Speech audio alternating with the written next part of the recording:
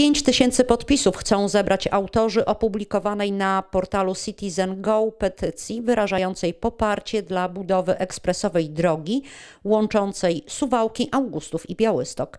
Taki przebieg trasy przewiduje jeden z kilku wariantów rozpatrywanych przez Generalną Dyrekcję Dróg Krajowych i Autostrad. Liczą się dwa warianty. Suwałki Ełk Białystok i Suwałki Augustów Białystok, informują autorzy petycji. Ich zdaniem, ale nie tylko ich, Ekspresówka łącząca Suwałki z Augustowem i stolicą województwa pozwoliłaby na faktyczny rozwój nie tylko tych trzech miast, ale również Sztabina, Suchowoli czy pobliskich Sejn, Lipska i Dąbrowy Białostockiej. Za takim wariantem drogi przemawiają zarówno argumenty gospodarcze, jak i ekonomiczne. Interwencję u premiera Morawieckiego zapowiedział już w tej sprawie poseł Jarosław Zieliński. Samorządy, w tym Suwalski, jednoznacznie wypowiadają się na temat tego wariantu. To najbardziej logiczny i pożądany przebieg ekspresówki wiodącej od Suwałk do Via Carpati. Wariant ten oraz sama petycja znajdują również poparcie prezydenta Suwałk. Każde e,